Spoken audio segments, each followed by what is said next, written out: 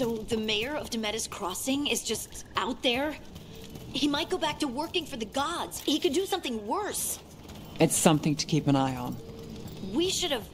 There was a blighted village and potential mind control from the gods.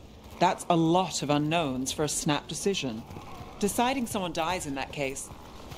Can't say it's bad we went the other way. I just hope we don't regret it.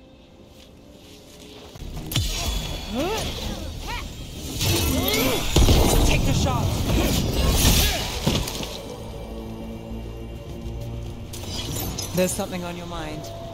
It's just. Demetas Crossing. I can't stop thinking about it. Those people. What if it happens again? What if it's happening all over right now and we just don't know about it? Something happens somewhere remote. It could take a while for word to get out. Nev, What? If we pretend it's not possible, we might miss something. I just want to help. But this. It's all so big.